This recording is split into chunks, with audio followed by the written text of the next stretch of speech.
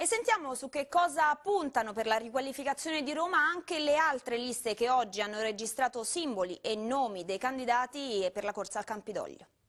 Il Centro Democratico a Roma vuole rappresentare quella parte di uh, moderati, quella parte di centrosinistra che guarda al centro. Abbiamo visto che a livello nazionale il centrosinistra è perdente quando non, amp non amplia la sua base elettorale. Il centro democratico vuole esserci e vuole esserci anche con un candidato capolista molto importante. Barbara Contini sarà il candidato capolista del centro democratico e è un grande funzionario internazionale, funzionario dell'ONU, che ha avuto fra le mani degli impegni molto importanti in questi ultimi anni.